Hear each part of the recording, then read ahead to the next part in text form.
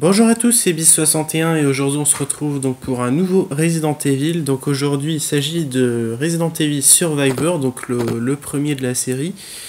Donc à savoir encore une fois donc au Japon euh, normalement c'était une sous-série donc qui s'appelait normalement Gun Survivor et ensuite qui était sous-titré selon le jeu ou concerné entre guillemets l'univers concerné. Donc c'était euh, Gun Survivor Resident Evil pour euh, le premier.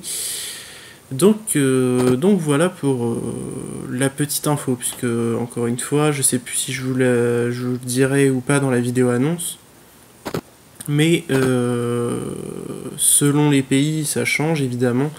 Et en France, ça porte vraiment le nom Resident Evil, comme si c'était un épisode canonique. Et honnêtement, je n'en sais rien, parce que tout, tout peut être fait pour qu'il soit canonique. D'ailleurs, même dans Resident Evil 0, il parle des événements qu'il y a dans ce jeu.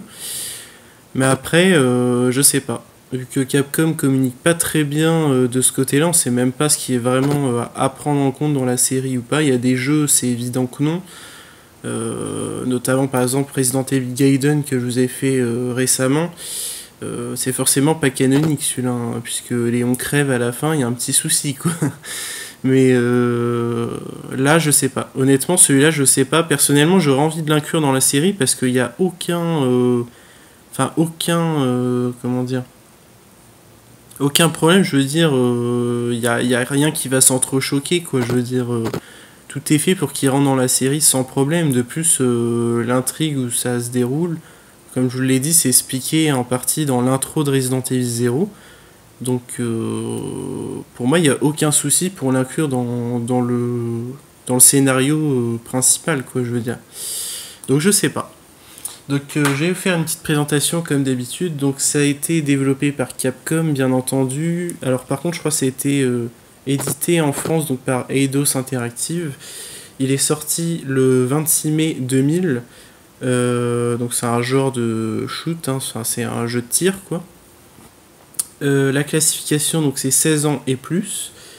Et euh, il est jouable uniquement en solo. Ce qui est plutôt une bonne chose, même si d'un côté on pourrait dire dommage parce que ça peut être fun et tout. Euh, je dirais oui, mais de l'autre ça enlèverait quand même beaucoup d'ambiance. Enfin, le côté horreur ambiance, si vous jouez à deux, quoi, c'est plus le même délire. Quoi. Vous allez jouer pour le fun alors que je trouve que le jeu ne se fait pas spécialement pour le fun. Alors j'ai pas appuyé bien entendu, donc ça fait des conneries.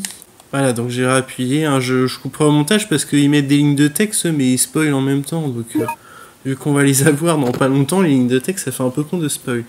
Donc on va commencer. Donc euh, ce qu'on va faire donc, pour ce jeu, alors faut savoir qu'il y a plusieurs euh, moyens d'avancer dans le jeu. Enfin on va dire qu'on aura des choix de, de cheminement possibles.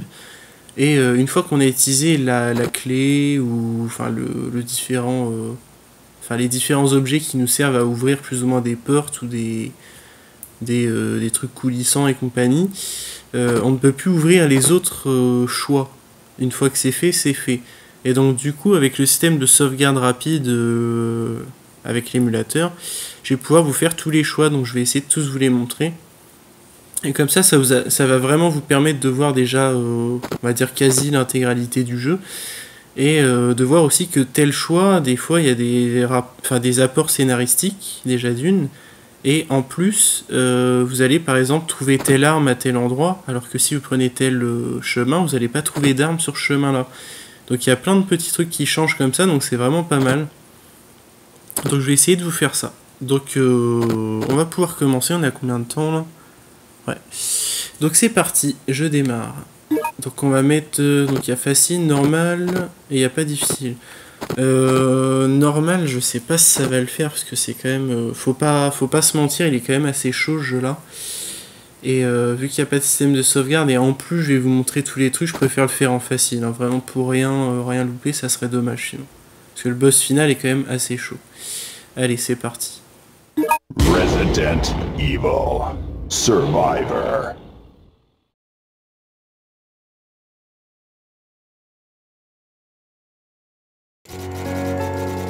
In 1998, a disaster struck the quiet Midwestern residents of Raccoon City. An uncontrollable outbreak of the Umbrella-created T-virus transformed the city into an inescapable death trap. To stop the outbreak from spreading, Umbrella Incorporated was forced to wipe out the entire city. However, this was not the only location where an outbreak occurred.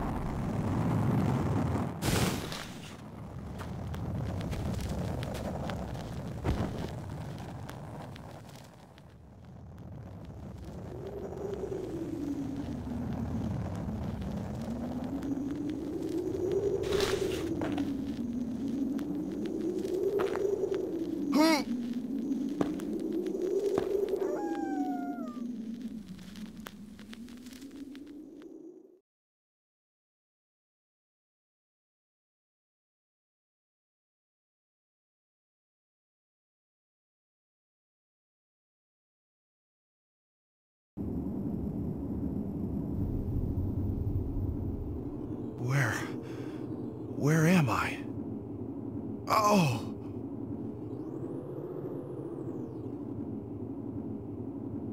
I. I don't remember anything. Who am I? Voilà. Donc on était dans l'hélicoptère en fait. hein, euh, Donc suite au crash, ben, on a perdu euh, notre mémoire. Voilà, un hélicoptère, ne suis-je pas déjà monté dedans Il le sait même plus en fait, il a vraiment tout oublié. Et donc voilà, donc ça se déroule, euh, vous voyez, donc en vue à la première personne avec le viseur au milieu. Alors faut savoir qu'il y avait deux systèmes de jouabilité quand le jeu est sorti. Euh, moi vu que c'est sur émulateur, peut-être que je pourrais émuler, mais euh, j'ai déjà j'ai pas l'équipement pour et etc. Euh, donc ça se joue soit à la manette ou sinon ça pouvait se jouer au G-Con 45. Donc pour ceux qui ne connaissent pas ce que c'est le G-Con 45, c'est euh, tout simplement un pistolet qui était euh, donc pour PlayStation qui était compatible avec les, les télé cathodiques et ce qui permettait tout simplement bah, de se croire dans une salle d'arcade, hein, carrément de shooter sur l'écran, donc c'est beaucoup mieux théoriquement. Alors après, est-ce que c'était vraiment précis sur ce jeu? Je ne pourrais pas vous dire parce que j'ai jamais essayé. Euh, le seul jeu que j'ai essayé avec un, flingue, c'était euh, Die Trilogy. Donc euh, ça passait plutôt bien sur le jeu, même si ça avait tendance un peu à merder par moment. Après, est-ce que c'était parce que le, le flingue était vieux ou la télé euh, était peut-être pas tip top pour ça? Je sais pas. Après, je pourrais pas vraiment vous dire. Mais bon, d'après ce que j'ai entendu, le G-Con 45 était assez bien. Donc je pense que c'était plus du fait qu'il soit usé ou autre chose. Quoi. Donc voilà, donc ce jeu-là, du coup, je ne sais pas ce que ça vaut euh, à jouer avec le G-Con 45. Donc nous, on va y jouer avec la manette. Mais la manette, ça reste très jouable. Hein, euh, il n'y a pas trop de soucis, mis à part les ennemis rapides, type les chiens qu'on croisera, là ça peut poser problème, ça peut être assez gênant. Mais mis à part ce bestiaire là, euh, normalement ça va. C'est assez bien foutu pour que ça soit jouable euh, à la croix directionnelle en sachant que vous avez une petite aide à la visée qui par moment euh, va vraiment beaucoup vous aider, d'autres moments elle vous aide un peu moins, mais ça va, ça reste euh, bien jouable. Donc allons-y, donc on peut déjà entendre l'ambiance, le vent, les chiens. Euh, un peu comme le premier Resident Evil, hein, ça, c'est très proche. Donc il y a beaucoup de bruitages hein, qui sont récupérés des, anciens RE. les zombies, c'est pareil, ils vont vous dire quelque chose normalement. Il y a beaucoup de skins qui sont repris. Donc on n'est pas perdu, quoi. On est vraiment dans un jeu estampillé Resident Evil. En tout cas, pour moi, niveau ambiance, elle y est. Euh, J'ai encore vu une critique il y a pas longtemps qui dit que ça avait rien à voir avec un héros. Euh, je sais pas ce qu'ils considèrent comme euh, rien à voir. Personnellement, je trouve que l'ambiance y est clairement. Euh, le gameplay est différent parce que c'est un jeu à la première personne, mais, euh, mais l'ambiance y est en tout cas pour moi.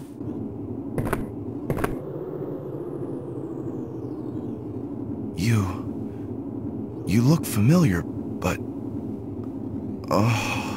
um, but I just can't remember.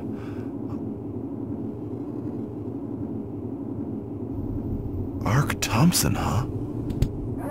Though I can't remember anything, I know that this was no way for anyone to die. What? Voilà, donc notre premier zombie. On va lui faire sa fête. Ouais, c'est bon, il est mort. Alors le petit problème par contre au niveau du gameplay, euh, donc là on récupère une petite clé. Euh, ce qui est assez chiant, c'est que vous pouvez pas recharger directement comme ça. Alors soit vous videz vos balles, donc euh, ce que je peux faire parce qu'il faut savoir que les balles normalement sont en illimité. Après ça dépend peut-être du mode de difficulté, mais en mode facile en tout cas c'est illimité. Donc voilà. Et le seul moyen de recharger, en fait, euh, sans vider ses balles, c'est d'aller dans le menu de faire associer. Alors, ça reste fidèle aux anciens RE, c'est clair. Mais quand on joue à un jeu de shoot, j'avoue que c'est pas terrible quand même. hein, C'est un, peu le bordel. Apparemment, on peut examiner les, objets. Ah, donc, balle 9, euh, 9 mm, pistolet pareil. Donc, le pistolet, vous voyez, ça s'appelle pistolet A. Donc, on, va, on aura la chance de récupérer d'autres types de pistolets plus tard. Donc là, c'est un Glock 17, un pistolet léger, léger pardon, en matière plastique reconnu pour son équilibre. Voilà.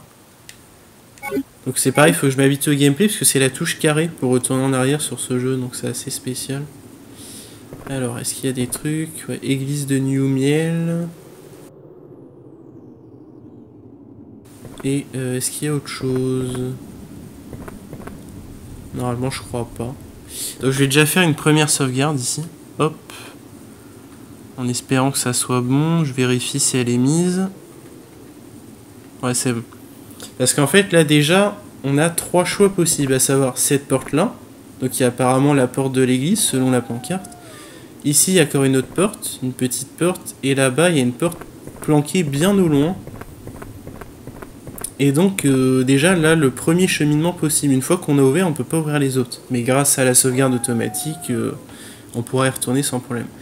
Donc, je vais commencer ici. Et j'essaierai de vous montrer les trois possibilités à chaque fois.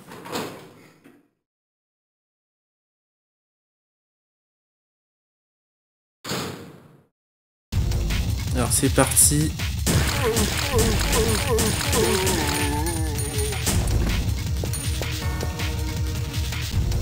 Donc faut faire attention parce qu'il y a des fois il y aura des ennemis derrière nous. Et euh, ça honnêtement ça prévient pas. Alors est-ce qu'il y a un commentaire là-dessus Non? Ok. Ça ça prévient pas, hein. c'est vraiment... euh, D'un autre côté c'est plutôt bien parce que ça met vraiment une certaine pression. Encore une fois. Donc c'est pas plus mal. Mais quand vous n'êtes pas habitué, euh, moi je me rappelle quand je l'ai fait, je vous le cache pas, j'ai vraiment sursauté plusieurs fois dans le jeu. Parce que le nombre d'angles morts qui nous niquent comme ça, c'est hallucinant.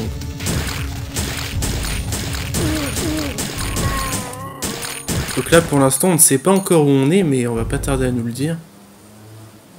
On récupère une petite plante verte que normalement, euh, je vais dire au revoir quand je referai le, le passage à l'autre sauvegarde, mais bon.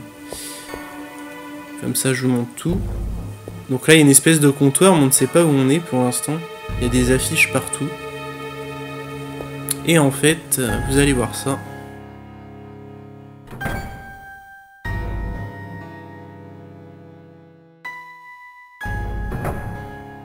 Voilà. Donc en fait, on se retrouve dans un cinéma.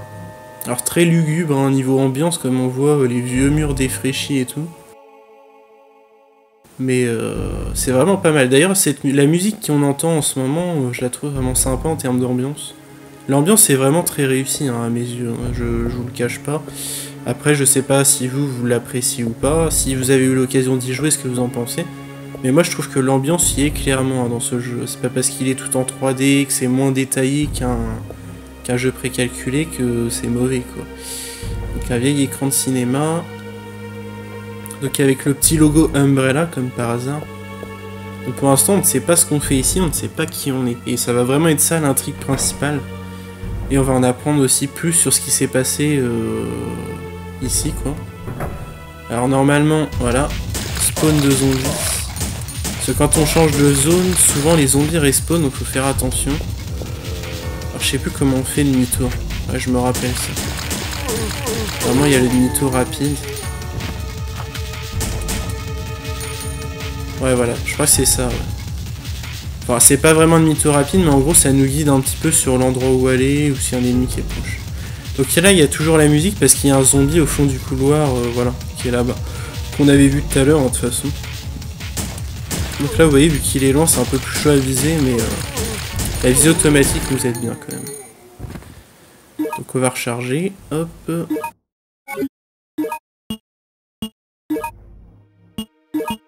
Alors vous dites, ouais, mais du coup, euh, c'est pas trop survie parce qu'on a autant de munitions qu'on veut. Et je vais vous dire oui et non, parce que les soins sont limités quand même. Et il faut savoir justement dans le jeu, on ne peut pas sauvegarder, tout simplement. Euh, donc si vous êtes mort, euh, bah, c'est fini tout simplement. Donc c'est vraiment encore plus survie que les autres. Euh, après, faut savoir que la durée de vie du jeu est assez limitée. Si vous faites la première partie, la première fois et que vous fouillez un peu, ça devrait vous prendre à peu près 1h30. Mais c'est quand même une heure de jeu, une heure de progression, euh, enfin plus d'une heure de progression, où vous n'allez pas sauvegarder. Donc vous risquez de crever, de tout recommencer. Donc les enjeux sont bien plus... Bien plus euh, prenants, je dirais, dans ce jeu-là que dans un autre RE où vous avez quand même vos rubans pour, euh, pour vous dire au moins si je crève, j'ai quand même une petite sauvegarde. quoi. Donc les horaires de cinéma, rien de particulier. On entend des corbeaux, ça fait pas trop plaisir à entendre d'ailleurs. Donc très sympa, hein, cette ambiance dans le cinéma, moi j'aime beaucoup en tout cas.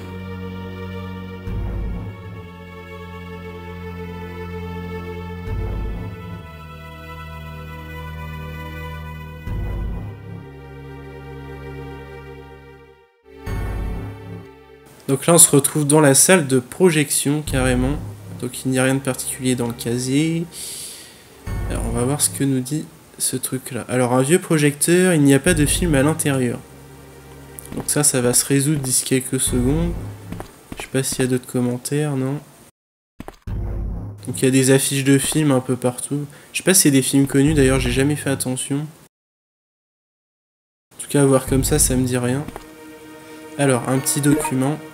Donc oui, c'est pareil, il y a beaucoup de documents dans ce jeu-là à lire, donc ce qui est vraiment bien, parce que ça reste très fidèle au premier RE. Et euh, je dirais par rapport aux autres RE, où les documents participent plus généralement soit à vous aider lors d'énigmes, ou soit tout simplement à vous immerger dans l'ambiance, un petit peu comme le, premier avec les différents, euh, journaux intimes qu'on retrouve euh, des chercheurs qui racontent un peu comment ils ont muté, ou progressivement le bordel qui se passe dans le manoir. Donc ça c'est vraiment des journaux dédiés entre guillemets à l'ambiance. Mais euh, là vous allez voir beaucoup de journaux qui sont plus tournés vers l'intrigue du jeu. Parce qu'il n'y a pas beaucoup de cinématiques dans le jeu et du coup tous les papiers qu'on récupère sont vraiment euh, importants je dirais pour l'intrigue du jeu, pour comprendre vraiment euh, telle personne ce qu'elle a fait, pourquoi c'est arrivé comme ça, etc. Donc c'est vraiment intéressant à lire quoi. En tout cas je trouve. Donc post-destruction de Raccoon City. Donc là c'est un petit peu un récapitulatif de ce qui s'est passé. Donc euh, rapport post-destruction de Raccoon City. Alors l'image là, est-ce qu'on la connaît? Moi elle me dit quelque chose.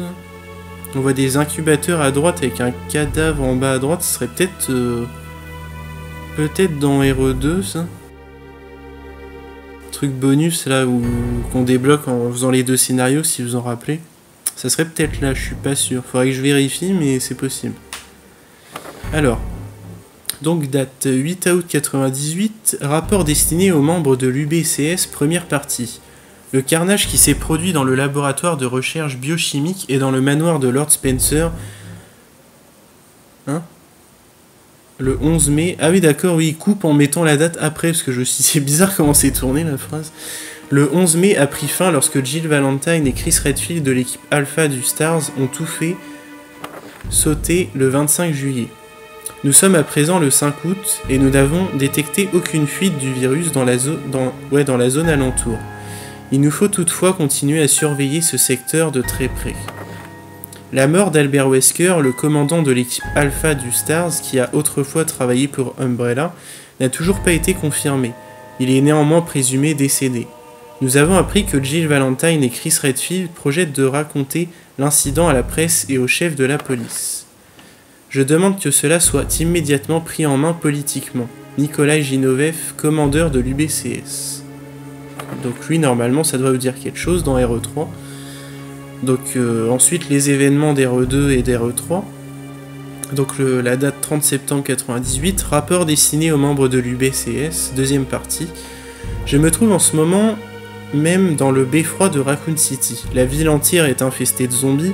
On peut dire que l'épidémie a, complètement anéanti Raccoon City. Toutefois, ce cas est différent de celui de l'incident du manoir.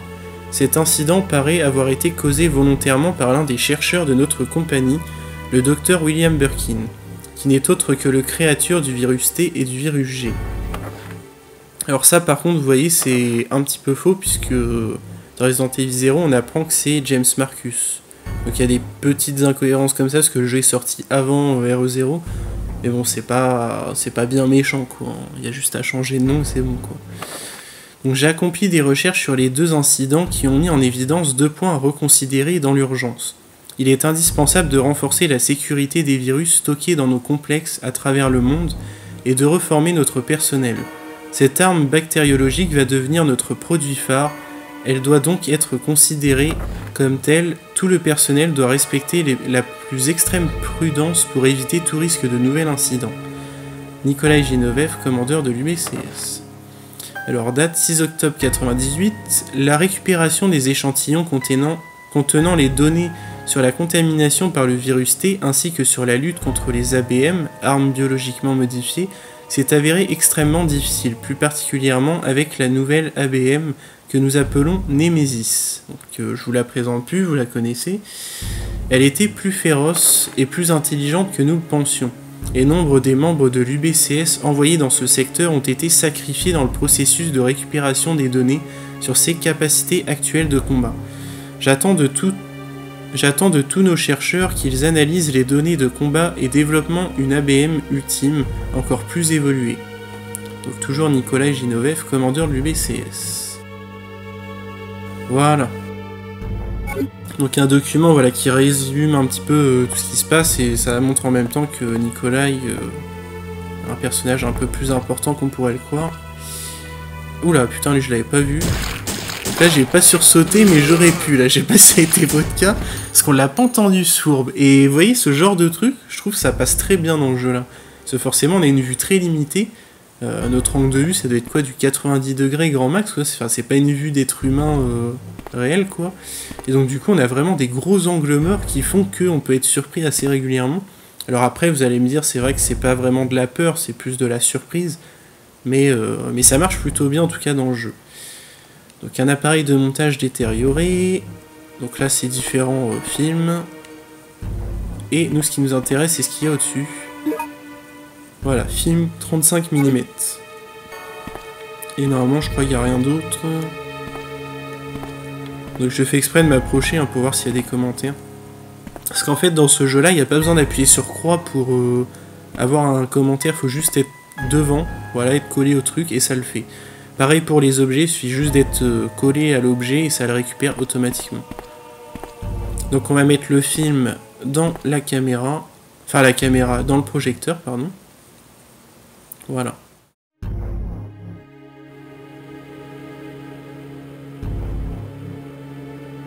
C'est bon. Donc du coup je vais recharger un petit peu parce que forcément vous doutez bien qu'on va pas être tout seul encore une fois. Le cinéma ça attire les gens, même si c'est des zombies. Voilà. Et c'est parti. Alors attention au cardiaque, je préfère vous prévenir.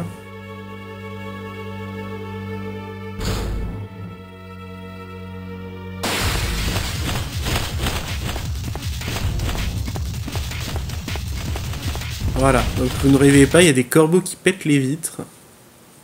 Donc ça c'est pareil, ça fait vraiment penser au couloir aux chiens dans le premier E. Mais encore une fois, je trouve que ça passe bien. Donc nos petits zombies. Toujours. Alors on pourrait ne pas les tuer, on peut rusher, hein, mais bon vu qu'on a des munitions illimitées, euh, on s'amuse un peu. Sauf les corbeaux où je veux pas trop tenter parce que vu que est un peu, euh, un peu bordélique quand les ennemis sont rapides et petits. Comme je vous ai dit, surtout sur les chiens, c'est là où c'est vraiment dangereux. Du coup, euh, je préfère pas tenter quoi.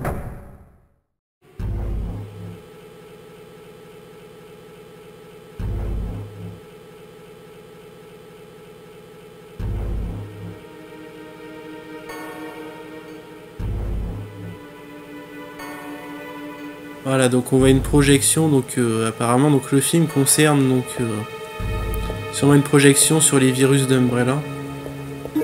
Et ça a mis en évidence euh, une petite clé qui était sur le bord. Donc vous avez récupéré la clé du cinéma, donc qui va nous permettre de sortir. Donc un document de recherche. Il se pose la question, forcément il ne sait pas du tout. Et il le sait encore moins en sachant qu'il est amnésique, c'est ça le problème. Donc là, normalement, cette clé-là va nous donner sur une ruelle qui rejoint les trois endroits, dont notamment le cinéma d'où on vient. Et les deux autres endroits, on va les voir euh, quand je relancerai la sauvegarde justement pour vous les montrer. Donc je recule un peu parce que forcément, j'ai pas envie de me faire choper. Voilà. Donc l'autre, le temps qu'il arrive, je pense que je vais pouvoir sortir. Donc je vérifie qu'on est bien dans la ruelle, que je vous montre tout avant de, de recharger la sauvegarde, qu'on n'ait pas l'air con.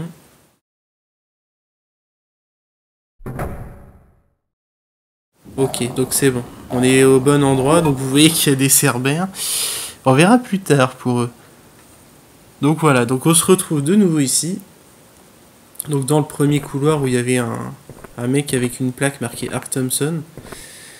Euh, donc on va aller à la deuxième petite porte et on va voir ce qui s'y cache.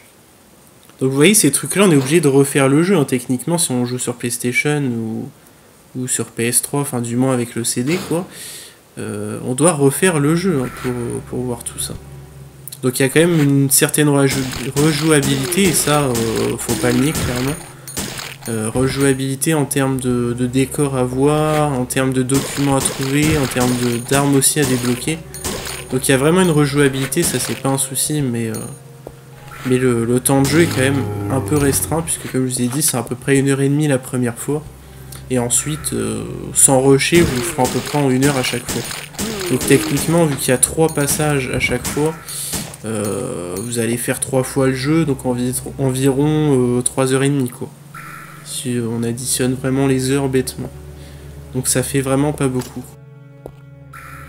Donc on arrive dans une espèce de cuisine apparemment. Y a un petit document, donc fichier du restaurateur.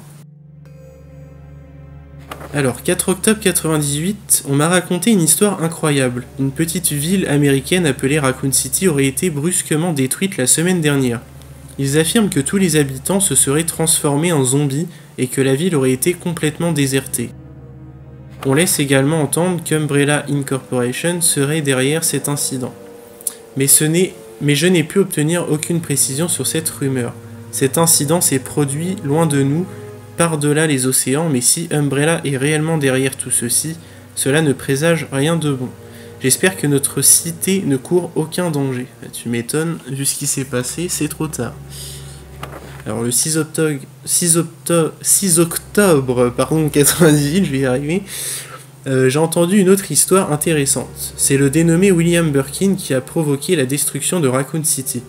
Il a essayé de conserver un certain virus nommé T ou G, qu'importe, qu'il a lui-même créé et qui s'est retourné contre les dirigeants d'Umbrella. Puis j'ai peine à imaginer pourquoi il s'est injecté le virus et s'est transformé en monstre. Le virus s'est alors écoulé dans les égouts et on raconte que ce sont les rats qui ont répandu dans la ville. 8 octobre 98, que dois-je faire? Parmi les employés d'Umbrella qui sont venus déjeuner, l'un affirme que le virus T se trouve sur cette île. Il a dit qu'il n'y avait aucune chance qu'un incident se produise dans cette ville, mais moi, je n'en suis pas aussi sûr.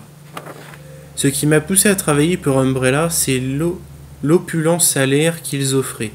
Mais quoi qu'il en soit, je commence à être fatigué de n'ouvrir mon restaurant que pour les employés d'Umbrella dans cette ville perdue au milieu de nulle part.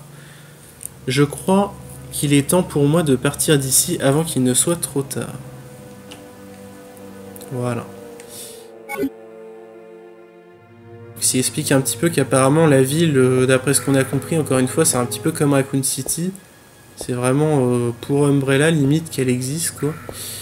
Donc il y a beaucoup de chercheurs et de gens qui travaillent pour Umbrella sur place. Donc on va visiter un petit peu ce restaurant. Et on va voir ce qui s'y cache.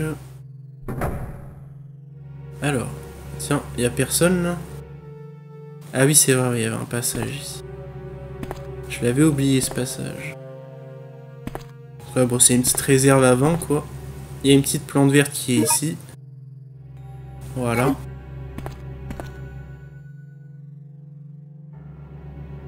On peut s'en aller.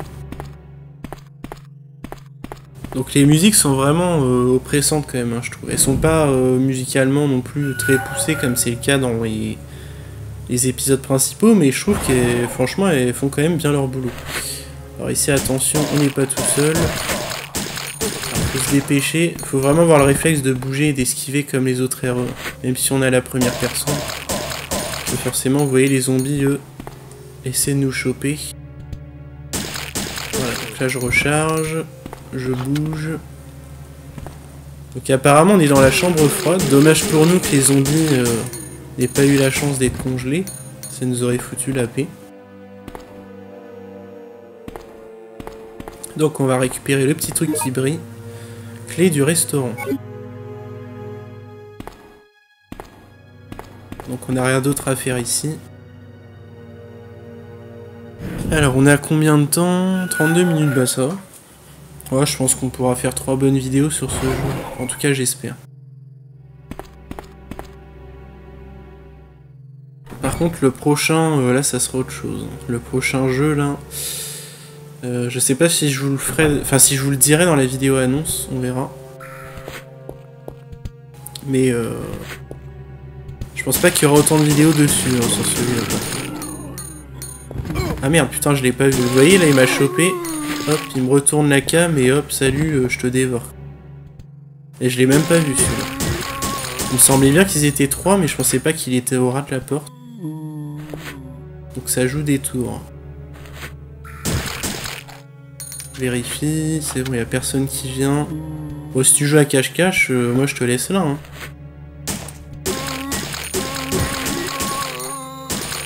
Voilà. Allez, porte suivante.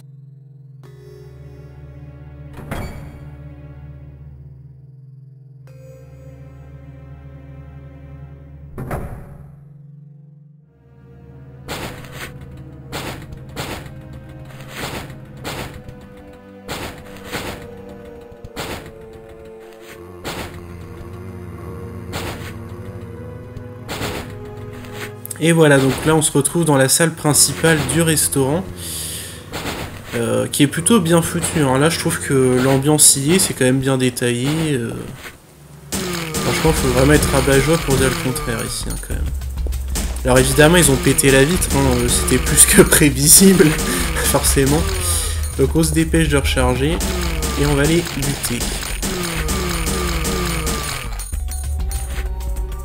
pas mort évidemment. Donc ce qui est bien c'est quand ils sont pas morts, la plupart du temps qu'ils sont au sol, la caméra suit. Donc ce qui nous permet de, les viser correctement. Voilà. Donc on a fait le ménage. Alors je sais plus si on peut sortir, non? Non on peut pas. Mais bon, ça c'est quand même bien foutu là je trouve. En tout cas ça avait l'air d'être sympa avant d'être infesté par les zombies. Mais bon maintenant j'ai plus trop envie d'y manger, hein, vu que je sais ce qu'il y a à côté. Donc euh, toujours le petit logo Umbrella en haut, même là sur la notice. Les employés d'Umbrella doivent utiliser leur carte d'identification pour régler. Donc c'est vraiment un resto que pour Umbrella, comme l'a dit le gars euh, dans sa note. Et là normalement on se retrouve dans le couloir au chien. Donc je vais pouvoir euh, retourner en arrière et accéder à la dernière zone. Normalement. Ouais, c'est ça. Donc on entend le téléphone qui sonne, là vous êtes intrigué bien évidemment, et on va le savoir euh, quand on aura traversé l'église, donc la dernière zone. Donc il y a quand même pas mal de contenu, hein. chaque zone euh, sont quand même assez différents. Donc c'est plutôt sympa. Alors ici évidemment les zombies étaient en pleine prière.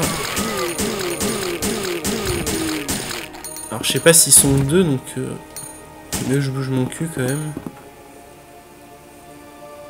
Bon ça va, il a personne. Donc euh, petite église, euh, limite chapelle, hein, parce qu'elle est quand même très petite. Mais là encore une fois je trouve que l'ambiance il est nickel quoi.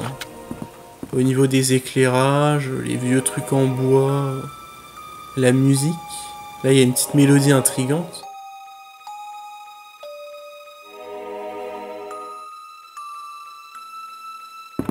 Donc vous voyez, c'est quand même pas mal. Enfin, moi, en tout cas, moi, j'aime beaucoup l'ambiance.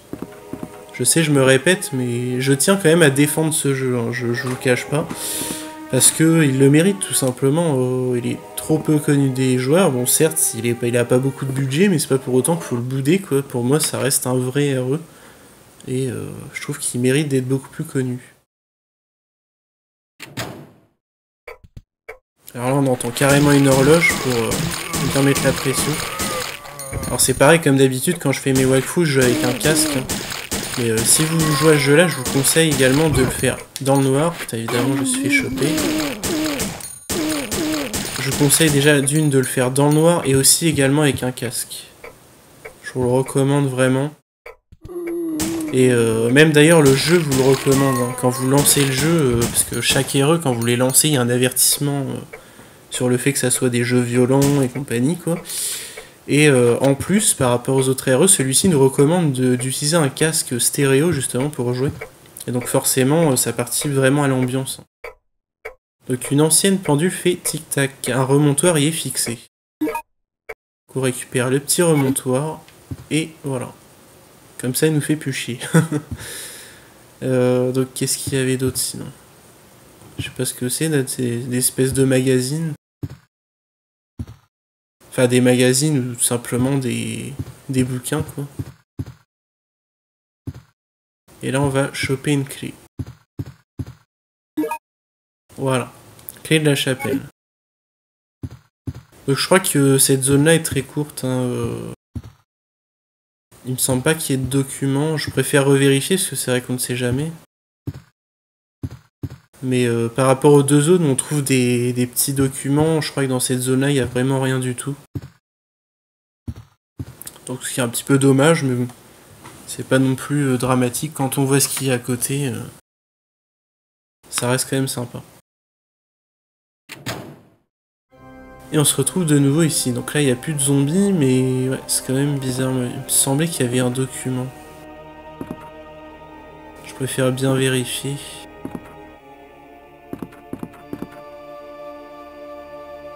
Hmm, Bref. Donc on voit vraiment que Umbrella est partout dans chaque bâtiment. Donc c'est vraiment... euh, C'est pire que Raccoon City, là. C'est vraiment... euh, Le QG d'Umbrella, quoi, limite, quoi. Alors, ici.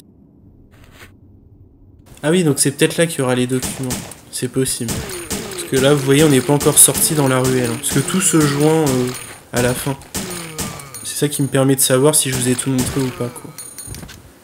Donc il y a une double porte ici. Donc on va aller voir ça. Ouais, c'est possible qu'il y ait des documents ici.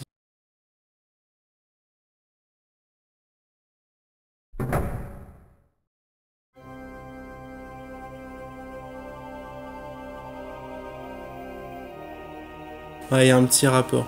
Donc à chaque fois, dans chaque endroit où on va, il y a toujours une séquence comme ça où le personnage regarde de gauche à droite pour voir ce qui se passe en haut. Alors, le petit document. Journal du pasteur. Alors, le 7 octobre 98, aujourd'hui, le commandeur a réuni les responsables de tous les secteurs de cette ville, moi y compris, et nous a appris la destruction de Raccoon City. Au cours de la conférence, tout le monde s'est accordé sur le fait que William Birkin n'a trahi que la compagnie que parce qu'il souhaitait conserver le virus G, pour son propre intérêt. Le commandeur a ajouté que si nous démasquons un traître tel que Birkin dans cette ville, nous sommes autorisés à l'exécuter sans sommation. Je trouve l'ordre du commandeur, du commandeur tout à fait acceptable. Alors ça, ça me fait quand même marrer parce que c'est quand même un pasteur qui écrit ces mots.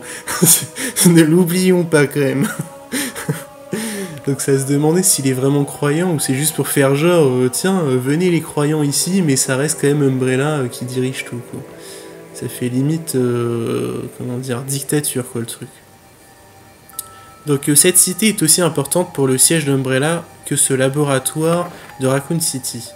Non, elle est bien plus, elle va devenir le plus important complexe d'Umbrella. Nous ne devons laisser aucune épidémie se déclarer dans cette ville. Si cela se produisait, les milliards de dollars investis dans cette ville par Umbrella pour y implanter ses installations partiraient en fumée. À l'avenir, il nous faudra surveiller le comportement du personnel avec beaucoup plus d'attention. Voilà. Toujours des petites euh, affiches. Encore une fois, je sais pas si c'est des clins d'œil particuliers à des jeux ou pas. je peux pas vous dire. Magazine pour adolescents, ok. Je sais pas ce qu'ils foutent là. Un petit flipper, normal. Que fait-il dans une église? Bonne question. J'avoue, au moins le personnage le, la demande. Tiens. Encore une fois, il y a un petit zombie qui est planqué. Il devait faire un, un petit Street Fighter sur une borne d'arcade, là, non Donc on récupère une petite plante verte. Donc cette fois je vais la garder hein, puisque c'est vraiment le dernier passage où on va ici. Donc euh, je ne ferai pas de retour en arrière. Alors c'est quoi comme euh, truc? J'arrive pas à bien lire. Powerman peut-être Je sais pas si ça existe. Là c'est quoi? Alors c'est pas lisible du tout. Et là, peut-être en bas. Je sais pas. Je ne pourrais pas vous dire. Donc c'est on a fait tout le tour ici. Alors il y aura peut-être de nouveau des zombies. Ah, étrange. Bizarre ça qu'il n'y ait pas d'autres zombies. Je sais pas si c'est plutôt bon signe. On va recharger. Alors, tac, associé. Ah, il est déjà chargé? Bah, ah oui, d'accord, oui. C'est quand j'ai dû changer de pièce alors que ça a dû recharger. Pourtant, il me semble pas que ça recharge automatiquement. Moi, je sais pas, c'est bizarre. Alors ici, une espèce de rambarde, mais il n'y a rien de particulier. Alors en fait, c'est une petite énigme. Il me semble qu'elle n'est pas obligatoire, celle-ci. Donc voilà, cette vieille pendule ne fonctionne pas. Donc on utilise leur montoir et ça va ouvrir le passage, en fait. Donc ça, il me semble qu'on peut passer à côté, que c'est pas obligatoire. Il me semble, hein, je, je dois pas dire de bêtises. Parce qu'on a peut-être besoin d'une clé pour sortir, mais je sais plus. En tout cas, c'est ouvert, on peut y aller. En général, ce qui est au, sous-sol est quand même euh, inquiétant. Donc on va voir ce qui se cache en bas. Donc on est déjà à 44 minutes, n'empêche. Hein, donc on va s'arrêter euh, quand on sera dans la ruelle. Alors ok, des araignées. Il me semblait bien qu'il y avait des choses dans ce genre là. Alors j'ai peut-être euh, rechargé cette fois. Merde. Quitter. Hop. J'ai un petit peu de mal avec le menu. C'est bizarre, il est pas vraiment réactif. Est-ce que c'est un lag dû à la manette ou au jeu Je sais pas. Mais c'est pas... On appuie sur la flèche. Des fois, il faut appuyer une deuxième fois pour que ça se fasse vraiment. C'est... Je sais pas, c'est bizarre.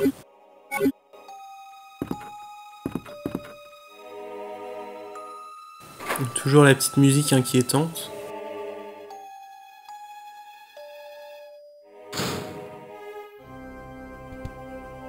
Alors, oula, il y a un bruit de zombie, elle est là.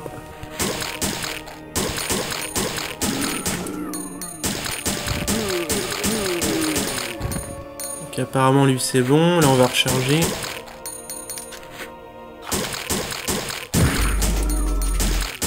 Voilà.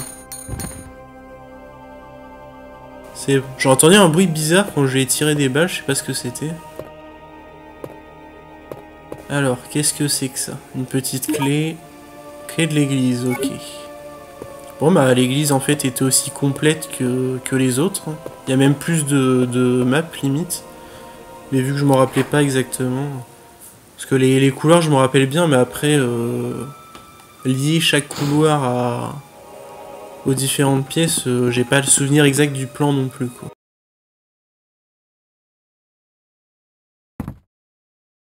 Alors je sais pas s'il y aura du monde par contre là. Apparemment non. Donc là normalement on va sortir. Donc en fait c'est obligatoire de choper la clé. Et on se retrouve dehors normalement. Ouais. Euh, donc voilà, donc on est déjà à 46 minutes, donc c'est plutôt pas mal, hein. on n'a pas fait grand chose finalement dans le jeu, enfin en termes de progression, parce que j'ai fait deux retours en arrière pour tout vous montrer. Mais euh, c'est pas plus mal, donc je vais faire une sauvegarde là, hop.